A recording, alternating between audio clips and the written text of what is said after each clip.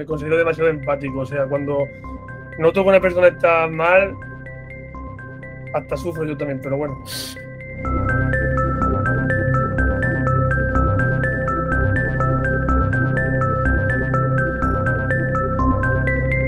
Mi madre me llama Oscar Heredia Tartajo, que a mí no me Toma. Toma.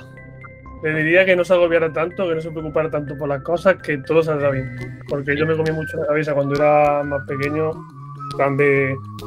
Y si no apruebo este examen, y si no soy lo que quiero ser, pero al final todo llega y todo sale bien. Eh, Como buen andaluz y cordobés, tortilla de patata y salmorejo. Y mojar la tortilla en el salmorejo. Yo soy ingeniero, lo que hago básicamente es mm, recibo normalmente diseño de diseñador de gráficos e implemento los experimentos que me llegan, el diseño, lo implemento con HTML, CSS y JavaScript para ayudarle al cliente pues, a mejorar a lo mejor el número de visitas o las ventas que tenga el mes.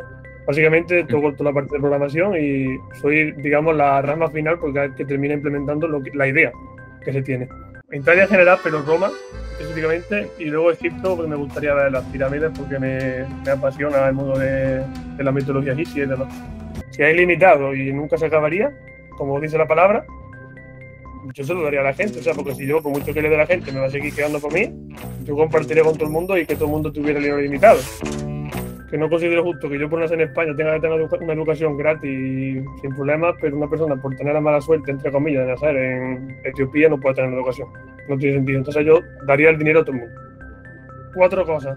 Y poco a poco, una detrás de otra se fue cayendo. Primeramente, quise ser maestro o profesor de matemáticas. Pero cuando vi lo que hacían mis compañeros, los profesores, se me quitaron la gana. Luego quise ser arqueólogo, por el tema que te he dicho antes, de que me mola mucho la historia y demás. Pero en Córdoba sí es verdad que hay futuro, porque cada vez que abres un poco de tierra te, encuentras de todo, pero en España en general no había mucho futuro, entonces lo descarté. Luego quise ser como muchos chicos cuando son pequeños, futbolista, que se me daba más o menos bien, pero lo descarté y al final quise ser informático o algo relacionado con la informática, y es que es donde estoy ahora mismo. O sea que dentro de lo que cabe, ha salido bien. Yo creo que bajaría del pasado al pasado actual, ¿vale? O sea, también me gustaría ver, eh, seguro, vamos, al antiguo Egipto como hacía las pirámides y demás. Pero viajaría al pasado no por eso.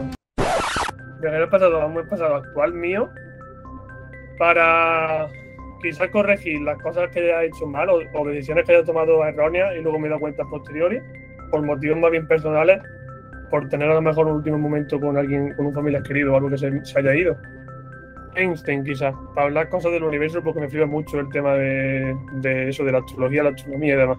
Y va a sonar un poco de vago, pero sería el de dos mismas horas seguidas.